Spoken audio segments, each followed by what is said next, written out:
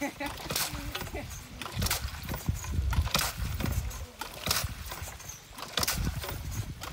get down so far, we probably should pull the bit and check it. And check the uh,